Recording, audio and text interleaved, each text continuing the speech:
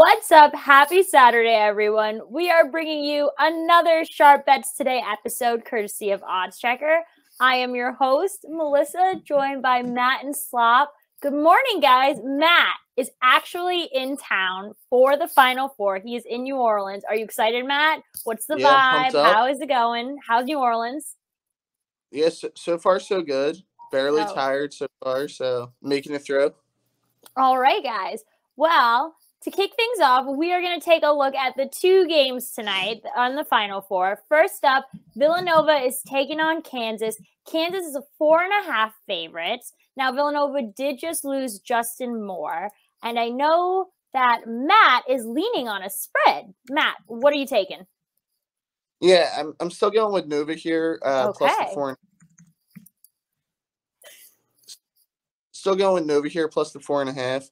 Um, obviously, don't love that Moore's out for this one, but I still think they keep it close. You know, too well coached, too experienced uh, to not stay within this number. So I think the number's a steal. So I'm going to take them uh, plus four and a half here. Okay. Well, Kansas is coming off one of the most impressive second halves in tournament history. They outscored Miami That- 47 to 15, right? But Matt Matt's hanging with Nova, so I think that's what we're to do. We're to also head to the second game of the night where UNC is taking on Duke. Now, this is the matchup that everyone's talking about. Everyone has a side, everyone has a bet. Slop, you are taking a total. What are you looking at? All right, so I hate Duke, and I definitely don't want them to win. But the, the revenge angle is so big here that you can't just you know forget about it.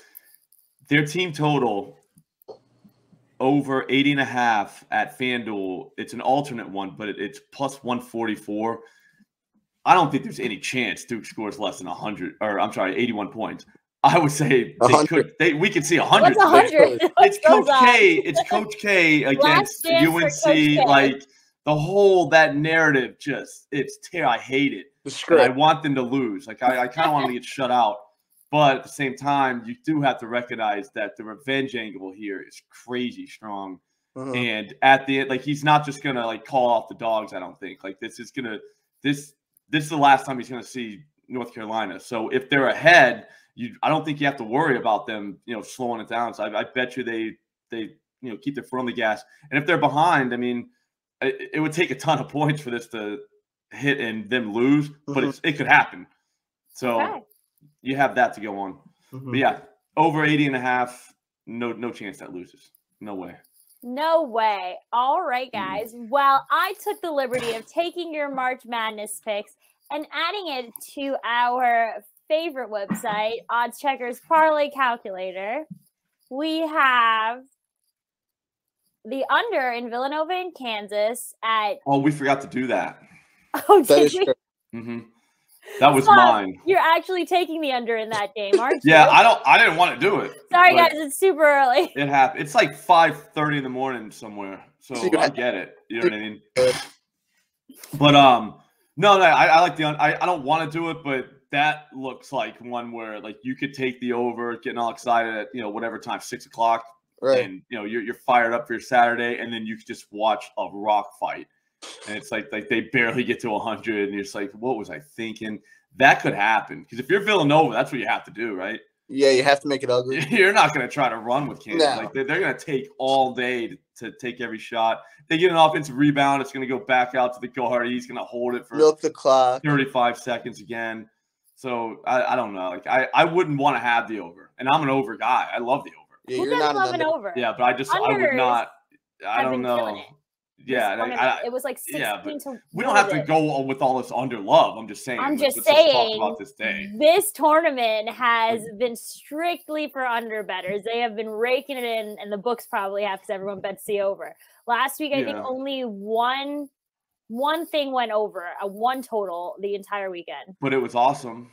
Yeah, but that was So, probably, so fun. was that. Yeah, those people had fun. All right, guys. But yeah, so that's the under. Yep, that's the It plus is, yeah. 110 one. At plus 144, we're taking Duke's team total at 80 and a half for the over. Plus 110, we are taking the under at 133.